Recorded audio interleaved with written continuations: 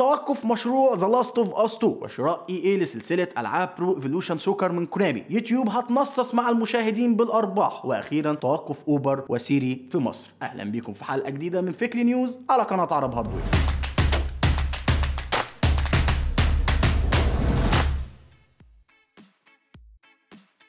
مفاجأة غير سارة لمحبي سلسلة The Last of Us ومالكي ال PlayStation 4 وده لما أعلنت Naughty Dog على إنها أجمل من إنها تنافس نفسها وإنها فضلت تبقي على الجزء الأول كالجزء الأوحد للعبة عشان يفضل محافظ على مكانته كواحد من أفضل الألعاب اللي اتعملت في تاريخ الألعاب. وده يمكن عشان Ellie ليها ميول غريبة شوية.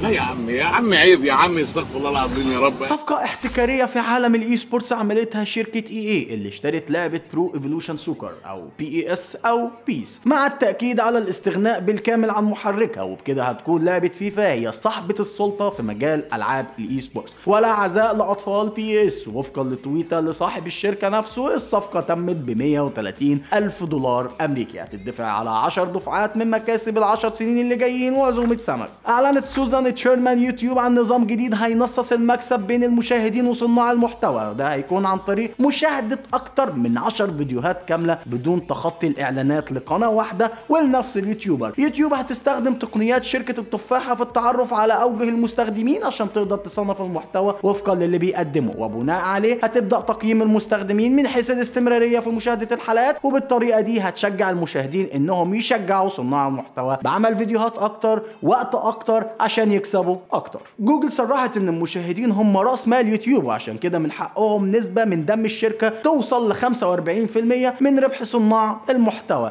في البداية النظام هيكون بالدعوات وبعد ست شهور من تجربته هيتم فتحه لجميع المستخدمين وعشان تجي لك دعوة لازم تكون بتشوف على الأقل 10 فيديوهات لنفس الشخص بشكل يومي ومستمر. بعد ما استحوذت أوبر على شركة كريم المنافسة ليها مع قرار البقاء على application كريم. في موبايل بنفس مميزاته أعلنت الشركة عن توقف كل خدماتها في مصر بسبب تكاليف خدمة العملاء والتطوير ومستوى الخدمة اللي بتقدمه وقررت إنها ترخص كل عربياتها المملوكة للعاملين كتوكوسا وبعدين هتستغنى عن أكتر من 7000 موظف ليها في مصر مع بدء تنفيذ القرار ده خلال الثلاث شهور الجايين. الجميل في موضوع استحواذ أوبر على كريم إن لو حصلت لك مشكلة مع أي كابتن من كباتن كريم هتقدر تشتكي كريم كلها لخدمة العملاء بتاعت أوبر. قررت أبل إنها تحقن الدماء عن طريق إنها توقف تطبيق المساعد الشخصي سيري في الوطن العربي بعد ما حقق أرقام قياسية مؤخرا في عدد مرات التحرش اليومية. سيري عملت report للمشكلة باستخدام الذكاء الاصطناعي. تتحرش بيه ولا إيه؟